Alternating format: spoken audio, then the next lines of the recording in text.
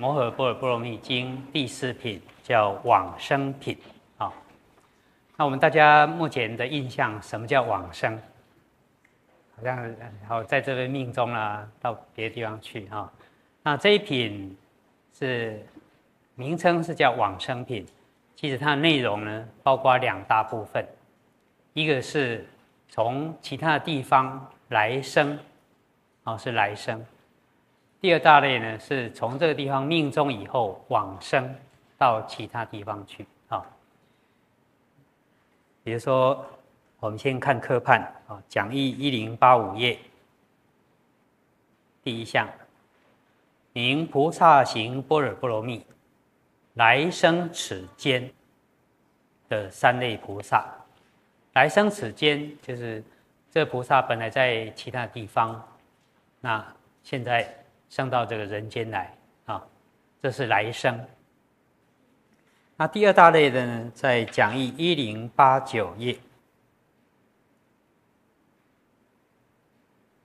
中间大写的国字二，此间命中而往生他方的菩萨啊，那因为来生从其他地方来生人间的菩萨只有三类。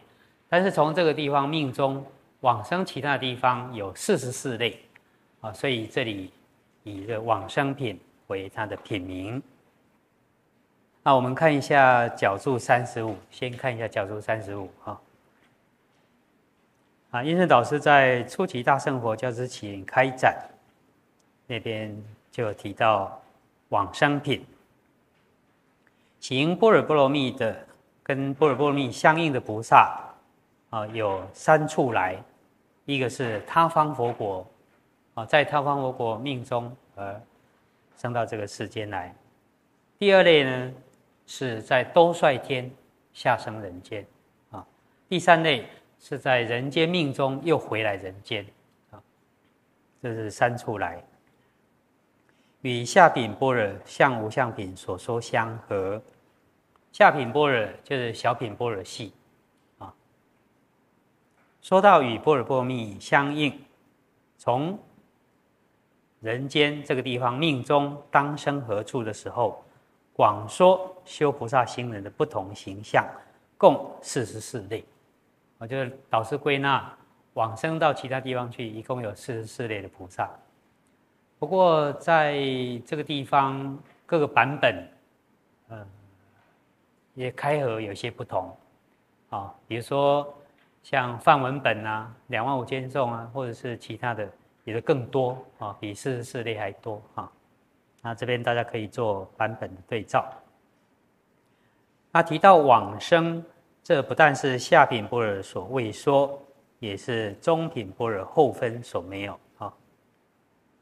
中品般若就是大品系的般若经，嗯。那这表示了当时佛教界所知道的菩萨。不管是事实的，或者是理论的，或者是传说的，啊，有非常多不同类型的菩萨啊。